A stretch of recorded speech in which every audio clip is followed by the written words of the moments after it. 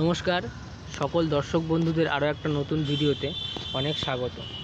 আপনাদের বেশ কিছুদিন আগে আমি একটা ভিডিও দিয়ে দেখিয়েছিলাম যে গোলাপ গাছের চারা নিজেরাও কিন্তু তৈরি করা যায়। এরকম ছোট ছোট কাটিং আমি বসিয়েছিলাম এবং সেই কাটিংগুলো আমি আপনাদের এই অবস্থায় বসানো দেখিয়েছিলাম।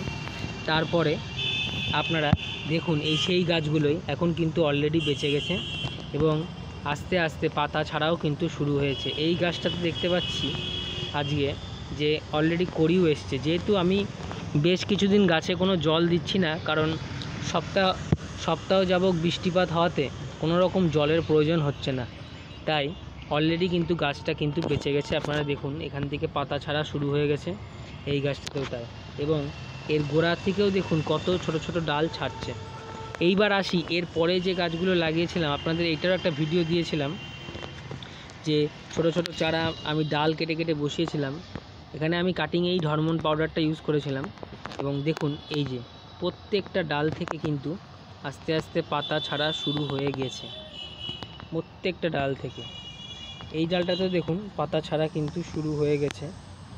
জানি না ক্যামেরায় কতটা আমি দেখাতে পারছি। প্রতিটা ডালে কিন্তু পাতা ছাড়া একটু একটু করে শুরু হয়েছে। এইখানেও একটা ডাল বসিয়েছিলাম, এটাতেও আস্তে আস্তে ছাড়ছে। তো এইভাবে এই গাছগুলো যে দেখতে পাচ্ছেন, পাতা ছাড়ছে এটা কিন্তু এই মাদার গাছের থেকেই ডাল নিয়ে তৈরি করা। আপনারা এভাবে খুব সহজেই করতে পারেন। আবার এই গাছগুলোই বেশ কিছুদিন পরে, মোটামুটি দু তিন মাসের মধ্যে এরকম আকৃতি হয়ে যাবে। এখানে আমার দুটো আছে। এই গাছগুলো আমি মূলত সামনে সামনে যেহেতু শীতকাল, তাই শীতকালে ফুল পাওয়ার জন্য আমি এগুলোকে রেডি করছি। এগুলো কিন্তু সবই হাজারি ভ্যারাইটির গোলাপ, লাল রঙের হয়ে থাকে এবং প্রচণ্ড সুন্দর গন্ধ। একদম দেশি জাতের গাছ এটা।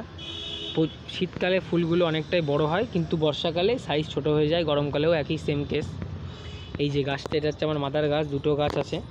এবং এই দুটো গাছই কিন্তু মোটামুটি আমার প্রায় দু বছর হতে গেল বয়স। তো আমি এই গাছের থেকেই চারা তৈরি করেছি। তো আপনাদের দেখে, দেখালাম যে কত সহজেই কিন্তু চারা তৈরি করতে পারবেন। কিচ্ছু না জাস্ট কাটিং করে কাটিং এইট পাউডার দিয়ে আপনারা এগুলোকে বসিয়ে দিন। দেখবেন প্রত্যেকটা চারা, মোটামুটি একশোটা যদি আপনারা চারা লাগান, আশা করা যায় সেভেন্টি পার্সেন্ট অর্থাৎ সত্তরটা আপনার কিন্তু গাছ হওয়ার সম্ভাবনা থাকে। তো এই ছিল আজকের ভিডিও কেমন লাগল অবশ্যই কমেন্টে জানাবেন।